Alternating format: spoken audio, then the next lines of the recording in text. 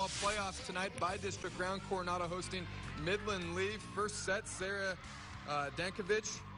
Rebels, uh, they want no part in that. Later in the set, it's uh, Kristen Kazi. She's getting up to uh, put it down. Thunderbirds came to play tonight. Jamie Shelley getting in on the action here.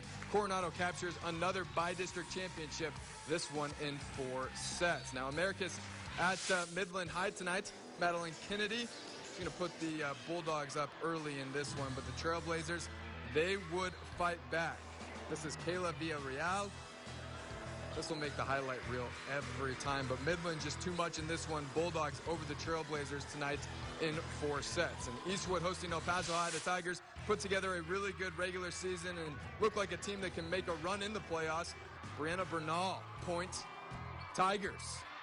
And then if you followed this team closely this season, you know the name Hannah Payan. Payan coming up big for the Tigers who win in straight sets. They're off to the area round. San Elizario losing in Class 4A. We'll be right back.